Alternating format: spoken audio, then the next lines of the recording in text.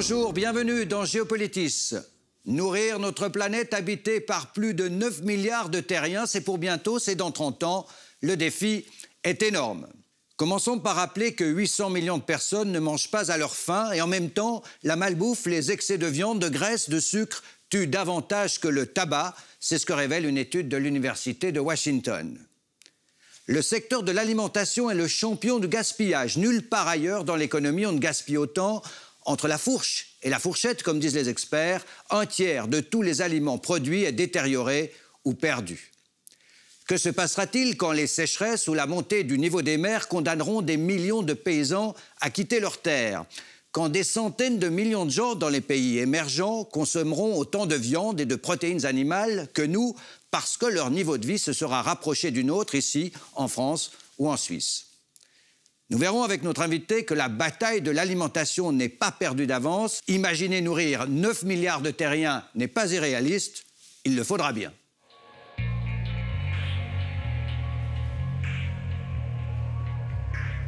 Imaginez faire vos provisions de nourriture et qu'à chaque fois le tiers de votre panier soit perdu, gaspillé ou périmé.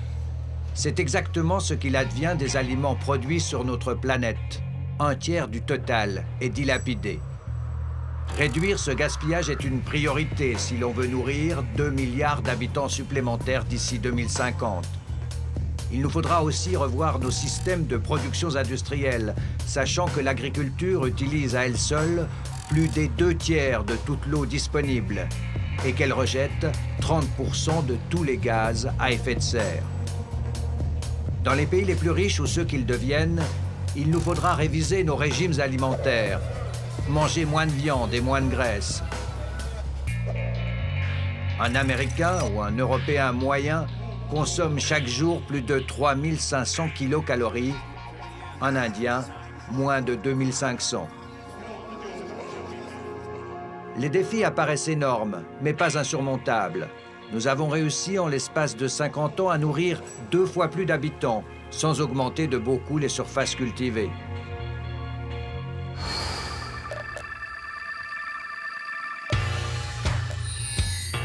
Il y a aujourd'hui sur la planète davantage d'individus qui souffrent de la malbouffe que de la faim. Selon l'Organisation mondiale de la santé, près d'un milliard et demi de personnes se retrouvent, comme on dit, en situation de surcharge pondérale. Et pas seulement dans les pays les plus riches, le fléau atteint de plus en plus les pays émergents. Certaines régions du monde se trouvent même confrontées aux deux problématiques. La malnutrition pour une frange des habitants, alors qu'une autre partie est atteinte d'obésité.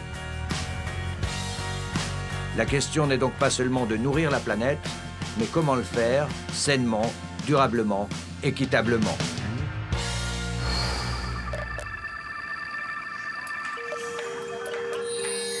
Les produits agricoles s'inscrivent dans un gigantesque marché mondial où les principaux acteurs sont évidemment les pays les plus peuplés et les plus riches. Au premier rang, les États-Unis, avec encore 14% du marché global.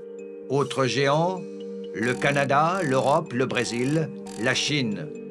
Ce qui apparaît en vert sur cette carte indique la part des exportations, en rouge, les importations.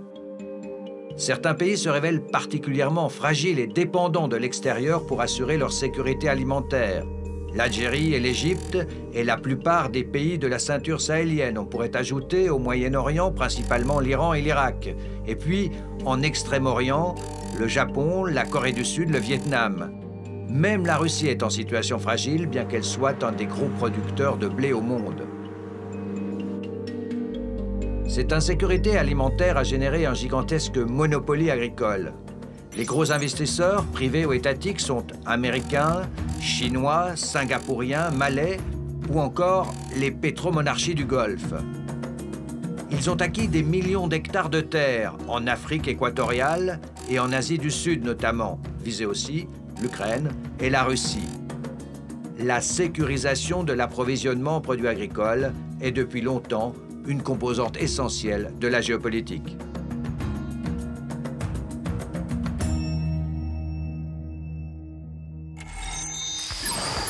Bonjour Mathieu Brun. Bonjour. Vous êtes chercheur à Déméter, c'est un écosystème associatif, c'est aussi un lieu de réflexion sur les défis de l'agriculture euh, ici en France et dans le monde. On sort d'une table ronde intitulée Pourra-t-on euh, toujours nourrir la planète? Cette planète qui comptera d'ici 30 ans 9 ou 10 milliards d'habitants. Alors la, question euh, réponse à cette question, pardon, elle est extrêmement simple. On a réussi à se nourrir jusqu'ici. Il euh, n'y a rien qui nous empêchera de le faire demain. Peut-être une première idée qui est quand même importante à avoir en tête, c'est qu'on produit suffisamment de calories aujourd'hui sur Terre euh, pour nourrir la population. Simplement, elle est utilisée à des fins euh, industrielles pour nourrir les animaux ou pour produire des carburants. Euh, peut-être qu'il faudrait repenser les systèmes alimentaires pour pouvoir parvenir à nourrir cette population qui va être croissante et qui va demander de plus en plus de viande, de produits céréaliers. Et donc c'est là tout l'enjeu aujourd'hui pour nourrir la planète. On sait combien de plus de viande il faudra produire pour nourrir des milliards de terriens ou Alors, Effectivement, les scénarios tendanciels sont tous assez hétéroclites. Euh, on retient le chiffre global qu'il faudra augmenter la quantité de production alimentaire de 50% euh, d'ici 2050 en considérant les transitions alimentaires, les transitions démographiques. Ce qui est quand même assez énorme dans la mesure où, sur le plan euh, des ressources, notamment foncières, on sait qu'on pourra augmenter euh, de 4 à 5 les surfaces cultivées. Ce qui Pour augmenter la production de 50 Non, on pourra euh, seulement augmenter de 5 Mais alors que les besoins seront de 50 Alors que les besoins alimentaires seront de 50 ah. Mais il faut aussi voir la, chose d'une manière assez positive, c'est que depuis les années 50, on a réussi à augmenter assez significativement la production agricole la production alimentaire. Chaque agriculteur aujourd'hui réussit à nourrir de plus en plus de gens sur sa parcelle à partir de sa parcelle. Euh, ce qu'il faut aussi euh, bien comprendre, c'est qu'une grande partie des gens qui sont en insécurité alimentaire sont aussi des agriculteurs. Et donc il faut qu'ils aient un, un revenu décent pour arriver à continuer leur activité. Il faut peut-être rappeler quand même qu'il y a plus de 800 millions de personnes sur cette terre aujourd'hui qui ne mangent pas à leur faim. Déjà. Effectivement, la sécurité alimentaire et nutritionnelle est un phénomène extrêmement complexe pour avoir accès à l'alimentation, il faut avoir un revenu, euh, il faut avoir un accès qui soit stable dans le temps, donc il faut mmh. suffisamment de production, euh, du, de la production sur le long terme, mais aussi les moyens de se l'offrir. Et il faut que cette production, elle réponde à nos besoins nutritionnels. Effectivement, plus de 800 millions de personnes aujourd'hui sont en, insécurité alimentaire. On avait fait des gros progrès, notamment grâce à la Chine, qui a réussi à, réduire le nombre de sa population mmh. en situation d'insécurité alimentaire. Mais là, le chiffre repart à la hausse. Alors qu'en même temps, on a ce double fardeau, qui est celui d'une population euh, qui, euh, euh, qui meurt de faim, qui est en insécurité alimentaire qui augmente, et en même temps des gens qui sont en surpoids, et en situation d'obésité, hein, à peu près 2 milliards de personnes qui sont en situation de surpoids au niveau mondial, ce qui nous fait dire aujourd'hui qu'on meurt plus de surpoids ou d'obésité, hein, liés avec des maladies cardiovasculaires, que d'insécurité alimentaire, que de manque d'accès à l'alimentation. Et il y a le tiers de toute la nourriture qui est produite qui se perd. Effectivement, au niveau mondial, une fois de plus, on est sur des chiffres extrêmement macro, c'est un tiers de la production qui est perdue ou gaspillée. Très important d'avoir en tête que ce sont des pertes et des gaspillages, dans la mesure où tout ne se fait pas au même maillon de la chaîne, si on regarde de la fourche à la fourchette. Dans un premier temps, ça peut être le transport. Effectivement, si on regarde les pays du Sud euh, ou les pays émergents, la majeure partie de ces euh, pertes et gaspillages se fait au niveau de l'exploitation agricole, en raison des capacités de stockage qui sont insuffisantes, des chaleurs, euh, des problèmes de logistique, des attaques d'insectes. Mm. Alors que quand on est du, côté des pays euh, dits du Nord ou des économies développées, euh, là c'est plutôt du côté du consommateur, de l'industriel. C'est là où se font euh, les pertes et le gaspillage alimentaire contre lequel on essaye bien entendu de lutter le plus possible. Ce qui pèsera évidemment dans la production de nourriture, c'est le réchauffement climatique. On peut évaluer les conséquences Alors, ce qui est assez important de rappeler, c'est qu'on est déjà exposé aux conséquences du changement climatique. Mm. Il ne s'agit plus de dire demain, euh, on aura moins de terre, moins d'eau, la terre sera plus aride et l'eau sera plus rare. C'est déjà le cas aujourd'hui pour mm. une grande partie de la population qui est exposée à ces, euh, euh, ces, multiplications de catastrophes environnementales et des catastrophes naturelles. Donc effectivement, on a bien entendu des sécheresses qui sont de plus en plus nombreuses. Si on prend un exemple comme le Maroc, avant c'était une sécheresse tous les 5-6 ans, aujourd'hui c'est une tous les 3 ans. Mm. Ce qui veut dire que ça empêche les agriculteurs de pouvoir produire de manière stable dans le temps.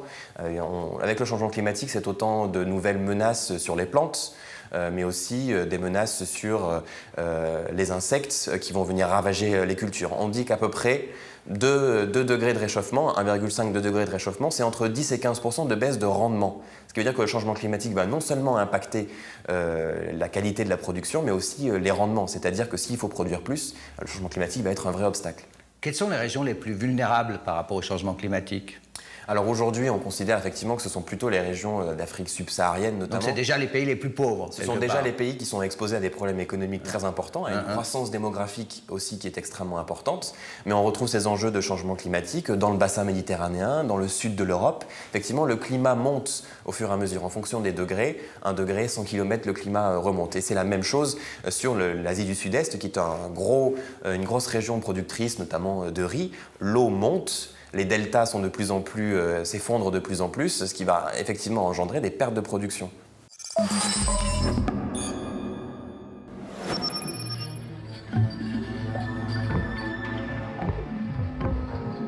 L'humanité confrontée aujourd'hui à de graves pénuries d'eau. Une menace qui touche directement 470 millions d'habitants à travers le monde et marque l'émergence de nouvelles crises sociales et humanitaires comme ici à Chennai, à l'ancienne cité de Madras, ces 10 millions d'habitants, marqués par des pénuries graves, la grande mégapole du sud de l'Inde connaît la croissance démographique et économique la plus élevée au monde. On doit venir faire la queue très tôt le matin, sinon il ne reste plus rien. Souvent, les femmes se battent entre elles et beaucoup repartent les mains vides. Il n'y a pas eu de pluie dans la ville. Nous n'avons jamais eu de sécheresse aussi sévère les années passées. Quand la consommation et la demande dépassent les ressources d'eau disponibles, les autorités sont confrontées à une situation de stress hydrique. 17 pays font aujourd'hui face à des pénuries. La situation va s'aggraver en 2040 et toucher directement plusieurs pays européens comme l'Espagne, l'Italie et même la Belgique. En Afrique du Sud, la ville du Cap épuise ses réserves à une telle vitesse qu'elle doit faire face à des pénuries historiques. Lorsque c'est rempli à 100%, l'eau doit arriver jusqu'ici. Ça fait 20 ans que je travaille ici. Je n'ai jamais vu le niveau de l'eau aussi bas. Les sécheresses à répétition le changement climatique, l'urbanisation chaotique des territoires et la surexploitation des nappes phréatiques, autant de facteurs qui pourraient bouleverser les équilibres géopolitiques à l'échelle mondiale. Pour rendre le monde plus durable, nous devons nous attaquer à ces problèmes pour que tout le monde puisse accéder à l'eau potable. C'est un droit de l'homme fondamental. Aujourd'hui, la situation est préoccupante et inacceptable. La croissance économique et démographique dans le monde, principalement dans les pays émergents, vont accroître le nombre de régions en situation de stress hydrique extrême et augmenter le nombre de réfugiés climatiques dans le monde.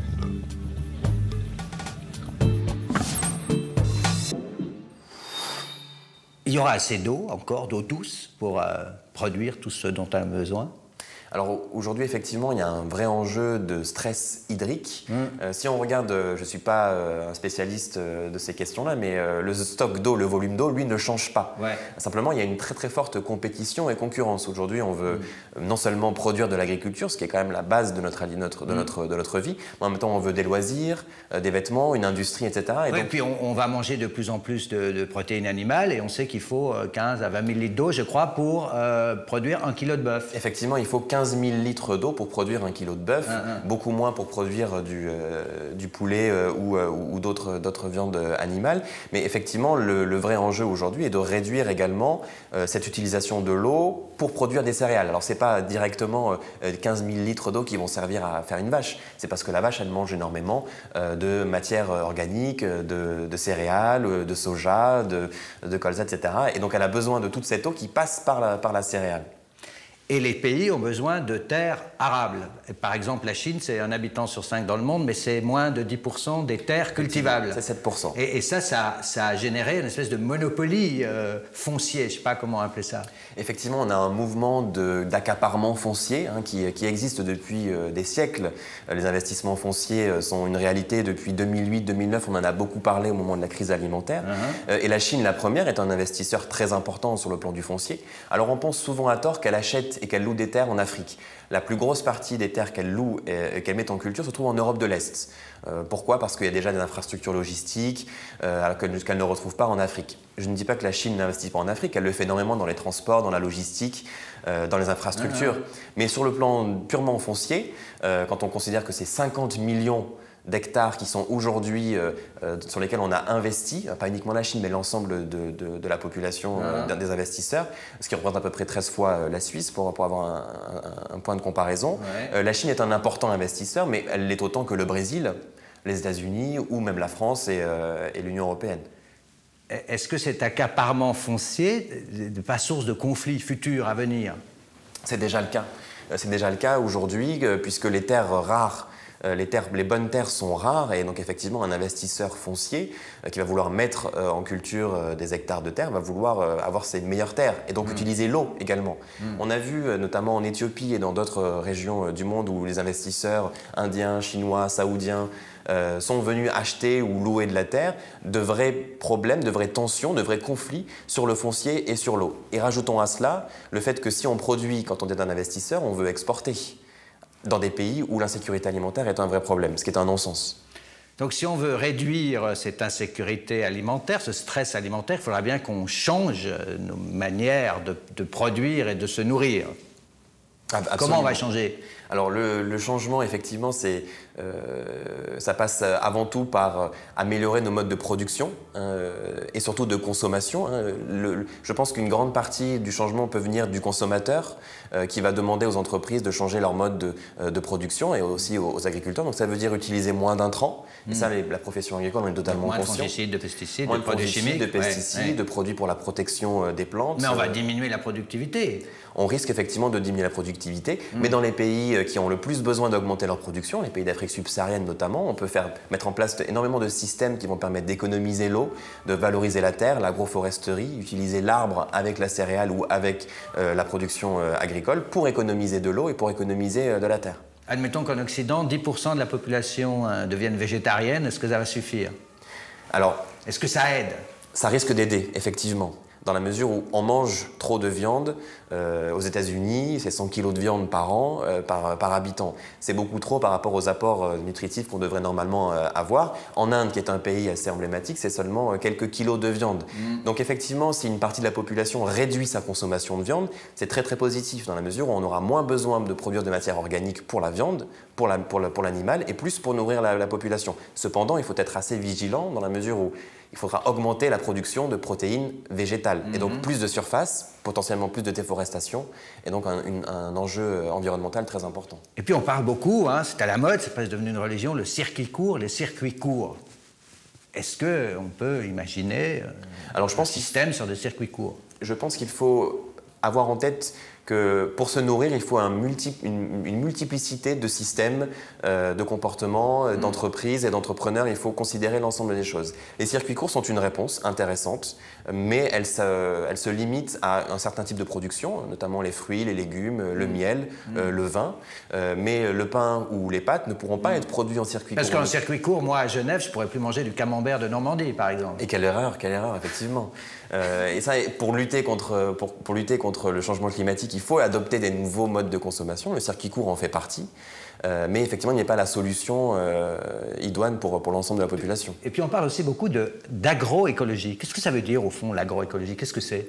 Alors l'agroécologie, c'est le fait de pouvoir utiliser euh, la plante dans son environnement et multiplier les, les, points, les points positifs, les apports de, de la plante avec son environnement direct. C'est-à-dire, mm. une, une, plante peut interagir avec les insectes, on peut mettre plusieurs plantes les unes à côté des autres pour, enfin, pour baisser l'utilisation d'intrants. L'agroécologie, c'est aussi un, un, mouvement politique de réappropriation des agriculteurs de leur mode de production. On a souvent dit aux, aux producteurs, il faut que vous produisiez plus. Hmm. Mais ça permettra de produire plus, ou en tout cas autant? Ça va, ça va permettre de produire mieux, ça c'est une certitude. Hmm. sauf qu'on va passer d'une agriculture qui faisait mal au dos à une agriculture qui va faire mal à la tête, parce que ça va être intensif en connaissance euh, de la part des agriculteurs. Et puis, euh, bah, j'ai vu l'autre jour à la télévision, on a ces expériences d'agriculture verticale dans des containers, tout ça. Ça, c'est l'avenir l'agriculture verticale ça fait partie des solutions euh, qui, sont, euh, qui sont envisagées euh, dans la mesure où on a énormément de surfaces de toit qui sont libres. Alors pourquoi ne pas les utiliser? Alors effectivement, ça peut faire peur parce que c'est des grosses innovations. On produit des salades, des tomates, voire des pommes de terre sans terre, à mmh. l'abri de la lumière, dans des mmh. serres qui sont lumière bleue, avec de la lumière bleue, de la lumière rouge. Si on fait changer la lumière, on n'aura pas les mêmes qualités nutritives. Effectivement, ces innovations peuvent faire peur, mais elles sont comme les autres des pistes d'amélioration de la sécurité alimentaire. Avec un grand avantage, c'est que ça pourrait consommer énormément moins d'eau. Pour une salade, euh, Effectivement, ça consommera déjà zéro pesticide, mmh. euh, beaucoup moins d'eau, mais le revers de la médaille, c'est avant tout une hausse de la consommation d'énergie. Mmh. Et bien sûr, un coût assez prohibitif. tout le monde ne pourra pas avoir accès à ce genre de dispositif. Merci Mathieu Brun, c'était un plaisir de vous recevoir sur le plateau de Géopolitis, ici euh, au Géopolitique de Nantes. Merci. Merci beaucoup. Il y aura donc de gros changements en perspective dans la production de nos aliments et sans doute aussi dans nos assiettes. On passe à table avec Elsa Anguinolfi pour un exercice de science-fiction culinaire et c'est notre rubrique ce jour-là en 2050.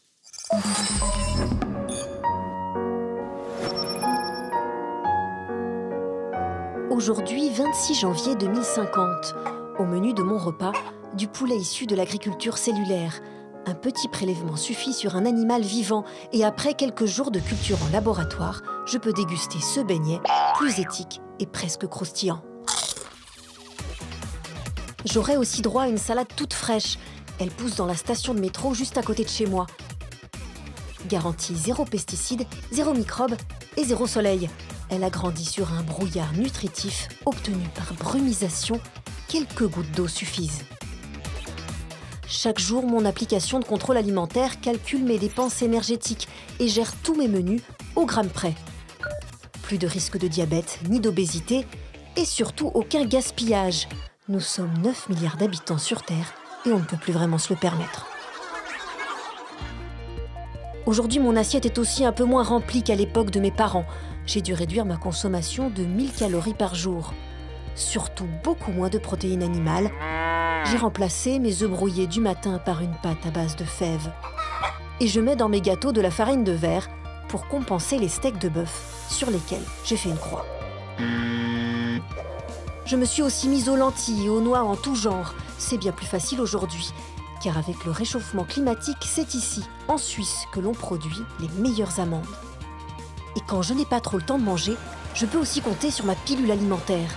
Tous les nutriments nécessaires à mon bien-être en une seule bouchée.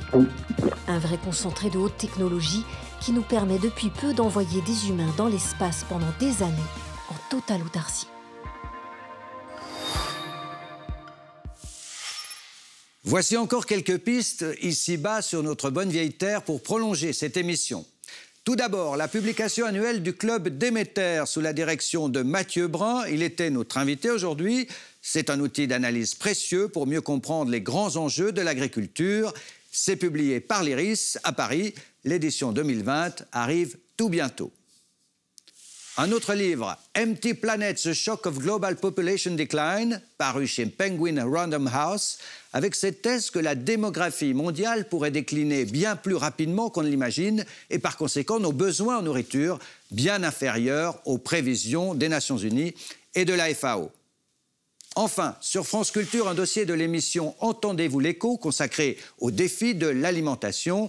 Parmi les intervenants, Bruno Parmentier expert sur les questions alimentaires. Le nombre de personnes souffrant de la faim dans le monde continue d'augmenter à 821 millions de personnes et c'est une hausse qui intervient pour la troisième année consécutive. Oui, mais enfin, le problème, c'est pas de s'agiter pour savoir d'une année sur l'autre. Le problème qu'il faut regarder, c'est que quel que soit le nombre d'habitants sur la planète, il y a toujours à peu près 800 millions de gens qui ont faim. En 1900, sur cette planète, on est 1,8 milliard et il y a 800 millions de gens qui ont faim. En l'an 2000, on est 5 milliards 3, il y a 800 millions de gens qui ont faim. Eh ben, on est toujours à 800 millions. On n'arrive pas. Géopolitis non plus ne s'arrête pas. La semaine prochaine, le rêve inachevé de Nelson Mandela, direction donc l'Afrique du Sud, 30 ans après la libération du plus célèbre prisonnier politique au monde. Merci de votre fidélité. Salutations à vous qui nous suivez sur les cinq continents grâce à TV5 Monde. À bientôt.